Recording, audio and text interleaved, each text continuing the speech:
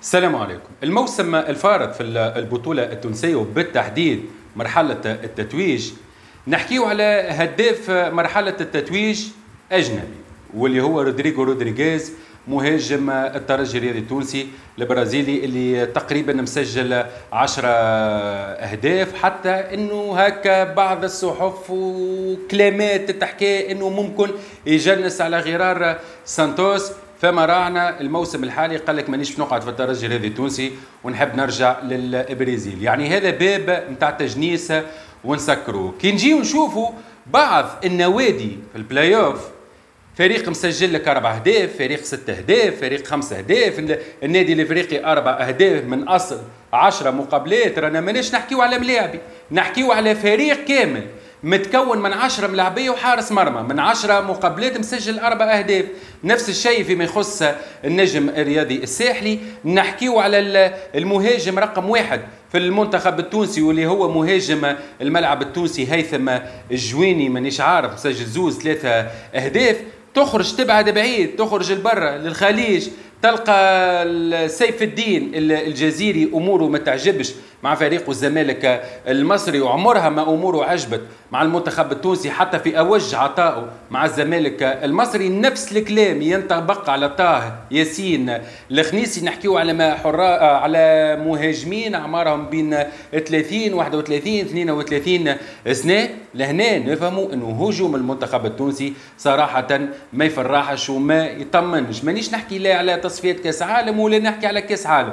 نحكي على كأس إفريقيا اللي ولات تصعب علينا إنه نتأهلوا للدور الثاني على خاطر ما عدناش شكون يحط الكره في الشبكة بدليل إنه في الكأس الافريقيه الفارطة في الكوت ديفوار نتفكروا هيثم الجويني والكرة اللي ضيعها اللي لو سجلها وعرف كيفاش يتعامل معها. نحكيو على منتخب تونسي متأهل الدور الثاني من تصفيات كأس أو من كأس إفريقيا ومن بعد لكل حادث حديث. في الخضم هذا الكل عندنا مهاجم عمره 23 سنة يلعب في أوروبا اسمه علي يوسف. الموسم الحالي مع فريقه هاكن السويدي مسجل من أصل خمسة مقابلات. السيد الموسم الفارط وبعد ما عاد من إصابة لعب على الجانب الأيسر مع فريقه. الموسم الحالي المدرب شاف اللاعب هذا إنه قناص حطه كرأس حربة حطه كمهاجم صريح من أصل خمسة مقابلات. بين مقابلات رسمية ومقابلة فقط ودية. أربع مقابلات رسمية ومقابلة فقط ودية كما قلنا. اللاعب ما شاء الله لا قوة إلا بالله مسجل خمسة أهداف. من خمسة مقابلات خمسة أهداف اليوم مع فريقه سجل ثنائية في دوري المؤتمر الأوروبي. يعني كي نسمعوا ملاعبي 23 سنة. صحيح تقدمت له الدعوة في التربص الفارط ولعب يعني الأوقات قليلة. على الآخر نحكيو على دقائق لعبهم مع المنتخب التونسي. يعني فوزي البنزرتي كي تسمع إنه ما عندكش مهاجم يحط كرة في الشبكة في البطولة التونسية الضعيفة وعندك مهاجم حضره لك مدرب فريق هاكن السويدي. خمسة مقابلات خمسة أهداف. يعني من غير ما تكسر راسك برشا. أقل شيء إنك باش تقدم للاعب هذا الدعوة في التربص القادم تربص شهر سبتمبر واللي من توا بدينا نحضروا له تقدم له الدعوة وتجربه كرأس حربه على خاطر لا عندك زلاتان القدام لا عندك كريستيانو رونالدو لا عندك مبابي ولا هم يحزنون. لذا بالمهاجمين البدورو أقل قليل اللاعب هذا علي يوسف ياخذ فرصته كاملة. ماناش نحكيو على درجين ويتأغت يا ما يتأقلم يا صاحبي. سيبونا من لغة تاتي تايشو يا صاحبي. خلي يلعب تو يفتق مواهبه وحده. باش يجيو هذوكم يفهموا خير منه ولا ولا يتأقلموا في ساعة في ساعة أكثر منه. اليوم كيف كيف عمر العيوني؟ سجل زوز أهداف. لكن عمر العيوني عمره تقريبا 31 32 سنة. عمر العيوني جربناه في المنتخب التونسي والمنتخب اعطاه فرصته على الجانب الأيمن وما قنعش ما قنعش سبحان الله ما قنعش لذا علي يوسف مازال صغير 23 سنة فرصة باش ياخذ الفرصة نتاعو الفرصة الكاملة في المنتخب التونسي وإن شاء الله ربي يبقي عليه الستر. ما اللي يخوف إلى حد الآن يندرى فوزي البنزرتي يقتنع بالنوعية هذه نتاع الملاعبية ولا يقول لك خويا نحب أنا ملاعبي حاضر؟ ملاعبي حاضر يا سي فوزي لو ما ثماش. ثماش ملاعبي حاضر. كان جاء ثم ملاعبي حاضر سانتوس وهبي الخزري نمشي معاه كما ما عندكش أنت ملاعبي حاضر لذا اللاعب الوحيد اللي إلى حد الآن يمر فورمة كبيرة برشا من بين الملاعبية التوانسة اللي خذاو حظهم وأكثر من لازم نعاود نقولوها هو علي يوسف اللي مهما كان المدرب في المنتخب التونسي يلزم يعطي فرصة للاعب هذا كرأس حرب.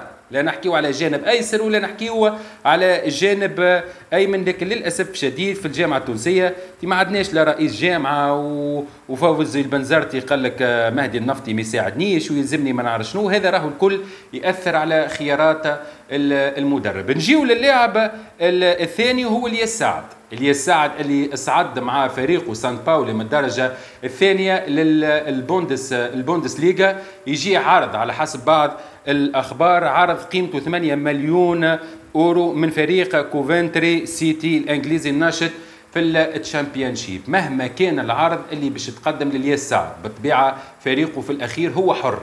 مصلحة الفريق بالنسبة لهم قبل مصلحة اللاعب. لكن من مصلحة اللاعب إنه ما يمشيش لل Championship لأنه عبارة إلياس سعد صعوده مع فريقه سان باولي للدرجة الأولى الألمانية راهو عبارة شريه فريق.